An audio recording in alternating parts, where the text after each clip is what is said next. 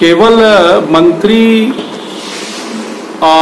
और सांसद, ये अगर आधिकारिक दायित्व का निर्वहन करने वाले लोग क्या नियम तोड़ने वाले होते, तब तो देश में नियम ही नहीं बनेगा।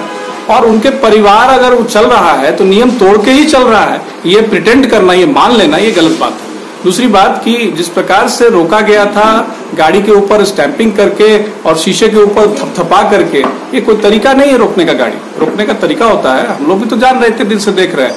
और ठीक है, उसके बावजूद अगर गाड़ी लगाए, गाड़ी पंद्रह मिनट तक वहाँ खड़े रखे, तीन बार, चार बार जो भी वहाँ पे सब इंस्पेक्टर थे इंस्पेक्टर थे कांस्टेबल थे, उनको आग्रह किया कि भाई गाड़ी रोके हैं तो चेक कीजिए। अगर उसमें नियम नहीं पाए जाते हैं तो आप उसका जो चलान होता है, वो काट दीजिए। हम लोग चलान दे देंगे। क्योंकि हम लोग नियम का पालन करने वाले लोग हैं। हमारी माता जी साथ में थी। हमारी बिटिया थी, हमारी पत्नी साथ में थी सीट बेल्ट लगाए हुए थे दोनों। बड़ा दुर्भाग्यपूर्ण जब ये बताया जाता है कि सीट बेल्ट लगाने के बाद भी कि आप सीट बेल्ट नहीं लगाए हुए थे, इसलिए शायद चलान कट रहा है। ये शायद वाली बात नहीं होनी चाहिए। जो भी बात है, वो प्रत्यक्ष है, उसको प्रमाण की आवश्यकता नहीं होती है। और ये चीज़ सारे मीडिया में प्रदर्शित हुआ है। वहाँ मीडिया बंधु थे, वो लोग बोल रहे थे कि, भाई, क्यों रोका है? आप लोग को पूछिए। हमारी पत्नी उतर करके पूछने के लिए गई। तो उसके बाद जो है, वो एक कांस्टेबल आया और बोले कि, क्यों गाड़ी को रोका गया है? नहीं नहीं, आप लोग जाइए। तो ये पूरा घटनाक्रम है। और इसमें आप चूँकि ये आ, मंत्री महोदय की गाड़ी थी उनका परिवार था इसलिए ये चलान कटना चाहिए और इसमें जो पदाधिकारी हैं वो दोषारोपण एक दूसरे के ऊपर करे कि कहीं हम न फंस जाए हमारा नाम ना आ जाए। इसलिए ये इस प्रकार का एक हाई प्रोफ़ाइल इसको इशू बनाया जा रहा है। ये गलत है हम लोग सामान्य नागरिक हैं। नागरिकों का दायित्व तो क्या होता है मुझे हम मालूम है। और अगर ये पता नहीं होता तो गाड़ी वहाँ एक मिनट से ज़्यादा नहीं रुकती। हम लोगों ने रोक करके वहाँ पर नियम संगत तरीके से काम करने का प्रयास किया बार बार आग्रह किया उसके बावजूद कोई नहीं चेक करने आया और आज आप घर पर बोलते मीडिया से मालूम चलता है कि ढाई हज़ार रुपए का चलान काट दिया गया है। तो घर घर पटना में बहुत लोग ऐसे चल रहे हैं सबके घर आप, आप चलान भेजेंगे? तो ऐसा नहीं होता है।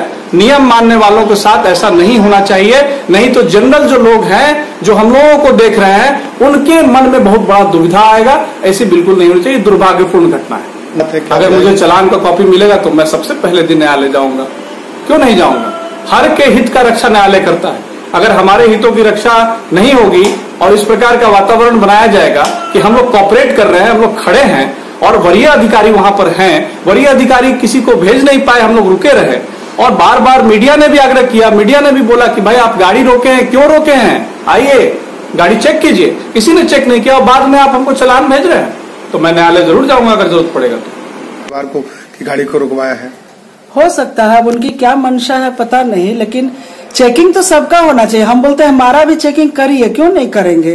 कोई वीआईपी और ये कुछ नहीं होता है सबका चेकिंग होना चाहिए। जो रूल है तो रूल सबके लिए है लेकिन इस तरह से करना इसके पीछे क्या मंशा है ये नहीं पता हमको। हाँ बिल्कुल टारगेट किया जा रहा है क्योंकि नियम कानून हम लोग भी जानते हैं। इतना उम्र हो गया नियम कानून को मानना अच्छी बात है। अभी जो भी चल रहा है वो ट्रैफ़िक रूल को मानना हर आदमी को चाहिए। आ, हम लोग भी मानते हैं। और जब हम लोग हम लोग जा रहे थे हॉस्पिटल आईजीआईएमएस हम लोग को जाना था। गाड़ी जिस तरह से रोका गया वो गलत था। और जब हम लोग साइड कर लिए साइड करने के बाद न कोई चेकिंग करने के लिए आ रहा है न कुछ। पंद्रह मिनट हम लोग वेट किए। लेकिन कोई चेकिंग उकिंग करने नहीं आया।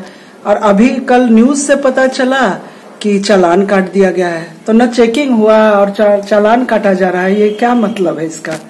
ये तो परेशान करना हुआ। तो हम लोग रोड पर चलना छोड़ थोड़ी देंगे। आप लोग खुद रुकी हुई थी जाँच कराने के लिए कोई अधिकारी नहीं? लोग थे वो लोग जानते हैं। पंद्रह मिनट हम लोग इंतज़ार किए। लेकिन कोई नहीं हम लोग बोले भी तब मेरी बहू उतरी कि पूछते हैं कि भाई, अगर चेक करना है तो चेक करिए, हम लोग को क्यों रोके हुए हॉस्पिटल जाना है। और फिर वो आके बैठी, कुछ नहीं, कोई आया ही नहीं। फिर एक कांस्टेबल आके बोला कि नहीं, आप लोग जाइए। तो फिर हम लोग चले गए। अब यहाँ पर क्या गड़बड़ी, कुछ समझ में नहीं आता है। पूर्वाग्रह से ग्रसित है लोग की क्या है, पता नहीं।